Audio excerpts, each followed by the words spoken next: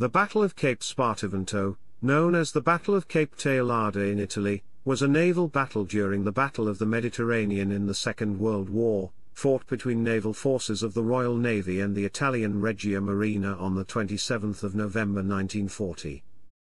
Chapter 1 Origins On the night of the 11th of November 1940, the British incapacitated or destroyed half of the Italian fleet's battleships in a daring aerial assault as they lay at rest at Taranto. Until then, the Italians had left their capital ships in harbour, hoping its mere presence as a fleet in being would deter British shipping through the area, though they would not decline battle if given the opportunity. Six days later, on the night of the 17th of November, an Italian force consisting of two battleships and a number of supporting units attempted to intercept two British aircraft carriers, HMS Ark Royal and Argus and their cruiser escorts, who were en route to Malta, in an attempt to provide planes to reinforce that island's defences. The British were warned of their approach and immediately turned about and returned to Gibraltar, launching their aircraft prematurely. One Skua and eight Hurricanes were lost at sea, as they ran out of fuel well before arriving at their destination, with the loss of seven airmen. The Italians' success in disrupting the reinforcement of Malta cast serious doubt upon British plans to send a further convoy to supply the island. However, the convoy was attempted, with increased support, including ships from Gibraltar-based Force H and Force D out of Alexandria. The convoy was spotted by the Italian intelligence service, and once again the Italian fleet sailed out to intercept it. The first Italian naval unit to make visual contact with the convoy was the torpedo boat Sirio on the night of the 26th of November. After launching two torpedoes from long range, which missed their target, Sirio reported seven enemy warships heading to the east. Chapter 2 Battle The British, aware of the Italian fleet's movements, sent their forces north to intercept them before they could come anywhere near the cargo ships. At 9.45 on the 27th of November, an IMAM Ro. 43 reconnaissance floatplane from the heavy cruiser Bolzano discovered a British squadron steaming to the east, 17 nautical miles north of Shady. Shortly after, at 9.56, Somerville received the report of his own aircraft from the carrier HMS Ark Royal about the presence of five cruisers and five destroyers, and assumed that these were Italian units closing for battle. Force D had not yet arrived from Alexandria, and the British were outgunned, but 15 minutes later, Force D was spotted and the tables turned. The two forces were fairly even, although the Italian ships possessed both longer ranged and larger guns, the British had an aircraft carrier, which had shown several advantages over the battleship at Taranto. However, the Italian Admiral Inigo Campioni had been given orders to avoid combat unless it was heavily in his favor, so a decisive battle was out of the question. Admiral Somerville deployed his forces into two main groups, with five cruisers under Rear Admiral Lancelot Holland in front and two battleships and seven destroyers in a second group following to the south. Meanwhile, and even further to the south, Ark Royal was preparing to launch its complement of Fairey Swordfish. The Italians had organized their fleet into three groups, two composed of the six heavy cruisers and seven of the destroyers and a third group of the two battleships and another seven escorting destroyers bringing up the rear.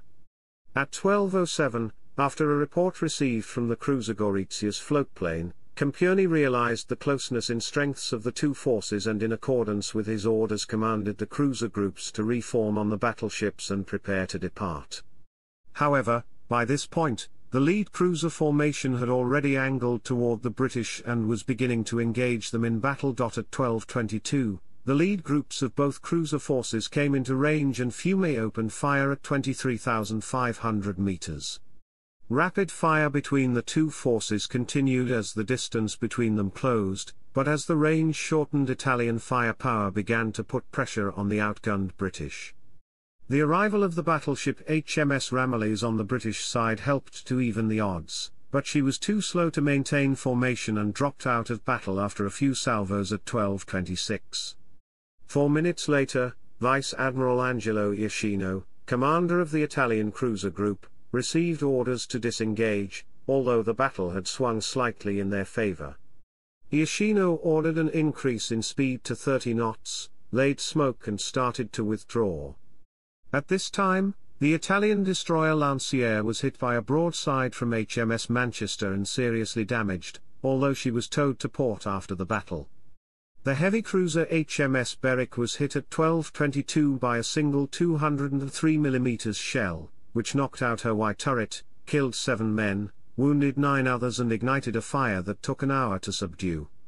A second hit at 12.35 destroyed the afterbreaker room and cut power to the ship's aft section, including the remaining aft turret. Most sources believe that the first hit was scored by an Italian heavy cruiser from the 1 degree cruiser division, either from Fiume or Pola, while the second round came from the 3 degrees cruiser division, either from Trieste or Trento, at the time the only Italian warships within range. For the next few minutes, the tables turned in favor of the British when the battle cruiser HMS Renown closed the distance on the Italian cruisers, and straddled Trieste with two salvos. The Italian cruiser was hit by splinters. This advantage was soon negated, however, when at 1300 hours, Vittorio Veneto opened fire from 27,000 meters. Vittorio Veneto fired 19 rounds in 7 salvos from long range and that was enough for the now outgunned British cruisers, which turned back at the fourth salvo. In fact, as giant waterspouts erupted around Berwick and Manchester, Holland ordered smoke, and his ships fled southeast, to close with Renown. Manchester was holed by splinters, from Vittorio Veneto's rounds. Both forces withdrew, the battle lasting a total of 54 minutes and causing little damage to either side. Chapter 3 Aftermath After the battle Winston Churchill wanted Somerville to be replaced, having questioned the Admiral's offensive spirit ever since his objections to attacking the French at Mers el Kebir. However, a board of inquiry exonerated Somerville, who enjoyed the strong support of several fellow admirals. As for Campioni, although he had a mandate to be conservative, he had presided over the loss of Italy's best opportunity to deal the British a sharp setback in a fleet action. His days of command at sea were numbered. As Iachino remarked, the use of these ships, which constituted at that moment nearly all of our fleet's effective units after the blow at Taranto, was decided by Supermarina mainly for reasons of morale, and to demonstrate that our combative spirit remained intact.